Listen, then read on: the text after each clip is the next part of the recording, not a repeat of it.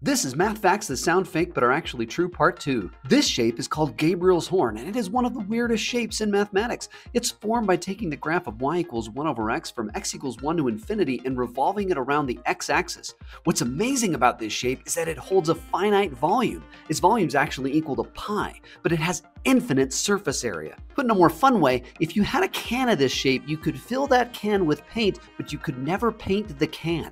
Six weeks is exactly 10 factorial seconds. This is because six weeks is equal to six weeks times seven days times 24 hours times 60 minutes times 60 seconds. But 24 is equal to three times eight, and 60 can be written as both five times four times three and two times three times 10. That is, six weeks is equal to six times seven times three times eight times five times four times three times two times three times 10. And combining two of the threes into a nine yields six times seven times nine times eight times five times four times two times three times 10. And rearranging that and multiplying by one, since that doesn't change anything, yields 10 times 9 times 8 times 7 times 6 times 5 times 4 times 3 times 2 times 1, which is 10 factorial seconds. The maximum numbers of moves needed to solve a Rubik's Cube is 26. That is, any state of the 3x3 Rubik's Cube can be solved in 26 moves or less. This unbelievable fact at least makes the world records for Rubik's Cube solving more believable. Holy crap, nope, Max Park's world record is still totally unbelievable. Congrats to this cubing master. There are an infinite number of odd prime numbers, but there is only one even prime number, 2. This is because every other even number is divisible by 2 and hence isn't prime. In a similar line of thought, the commonly used definition of a prime number as any positive integer that is divisible by itself and 1 is not a correct definition because the number 1 satisfies that definition but is not prime. The correct definition of a prime number is a positive integer that has exactly two distinct divisors, and under this correct definition we see that 1 is not prime. To settle a similar common misunderstanding that 0 is somehow both even and odd, it isn't. The number 0 is even because it's divisible by 2. A regular polyhedron is a polyhedron that is formed out of faces that are all congruent regular polygons.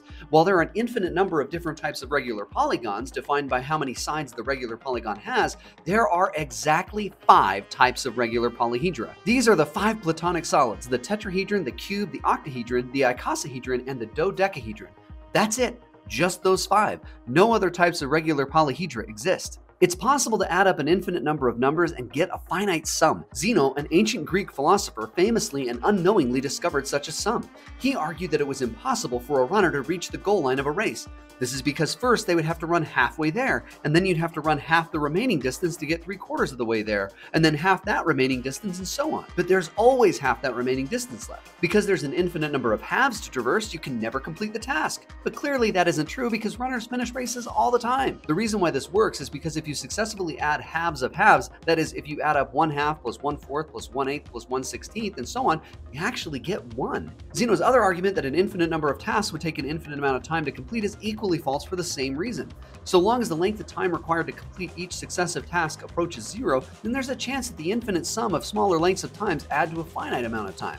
And indeed, the sum of the infinite number of periods required to complete each half of the run is finite and adds to the length of the time the runner needed to complete the race. But not every infinite sum adds to a finite number, even if the numbers added together get progressively smaller. For example, the harmonic series adds one half plus one third plus one fourth plus one fifth and so on, but it diverges to infinity, or put more simply, sums to infinity. Now you can understand the following typical math joke.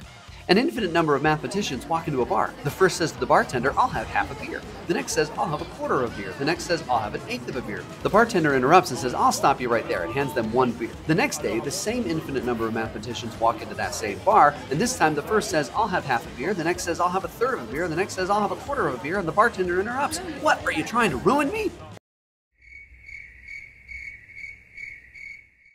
And if that's not enough to mess with your brain's sensibility, how about this? There is no real number immediately before 1 or immediately after 0. This is because if you had the least positive real number, you could average that with 0 and find a smaller positive real number. Similarly, if you had the number that was the closest number to 1 that's still smaller, you could average that number with 1 and find a number even closer to 1 that's still smaller than 1. And some of you might cry foul here and say, but what about the number 0.999 repeated? Well, this number can be written as the sum 9 tenths plus 9 over 10 squared plus 9 over 10 cubed plus 9 over 10 to the fourth and so on. And this sum is one of those infinite sums that adds up to something finite. And in this case, this sum adds up to 1. That is, the number 0.999 repeated is actually equal to 1. But there's far more bizarre things that can happen when you add up an infinite number of terms. We all know that if you add up a finite number of terms, you can change the order however you want and not change the sum. But for some infinite sums, rearranging the terms can cause them to add up to something different. Such infinite sums are called conditionally convergent. For example, consider the sum 1 minus 1 plus 1 half minus 1 half plus 1 third minus 1 third plus 1 fourth minus 1 fourth and so on. This sum not surprisingly adds to 0. However, if you take the same exact numbers but add them up in a different order where we put two positive terms first and then a negative followed by the next two positive terms and the next negative and so on, that is if we add 1 plus 1 half minus 1 plus 1 third plus 1 fourth minus 1 half plus 1 fifth plus 1 sixth minus 1 third and so on, we get the natural log of 2 even though we added up the exact same numbers. In fact, if you have a conditionally convergent sum and you pick any arbitrary real number at random, then there is some rearrangement of that sum that adds up to the real number that you picked. Now that our brains have sufficiently disintegrated, I'll end with the coolest fact I know. The coldest possible temperature, or absolute zero, is zero Kelvin, or negative 273.15 degrees Celsius.